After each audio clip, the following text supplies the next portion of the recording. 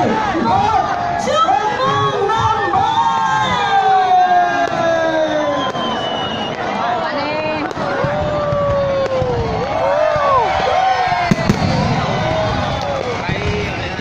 ta cùng nắm chặt tay nhau lại chứng kiến màn bắn pháo là chào đón năm kỷ hợi năm 2019 thời khắc này, chúng ta hãy cùng chúc cho nhau những điều tốt lành nhất, sức khỏe bình an. Chúc cho đảng bộ chính quyền, nhân dân các dân tộc huyện Tân Yên. Sang năm mới sẽ có nhiều thành công hơn xây dựng quê hương Tân Yên ngày càng giàu đẹp và văn minh. Chúc mừng năm mới!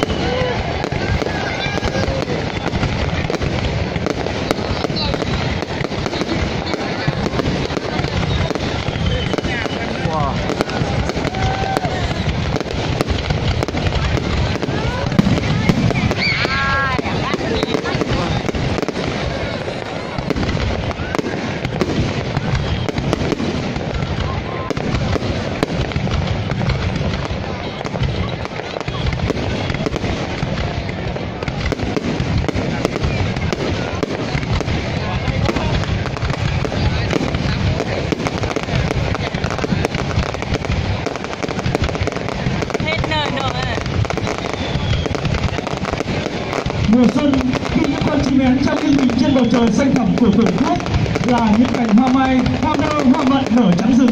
Cả những màn pháo hoa của đất và người tân yên và chúng ta đang thưởng thức cũng đang chào đón một năm mới, một năm mới vạn sự tốt lành, vạn lộc bình an.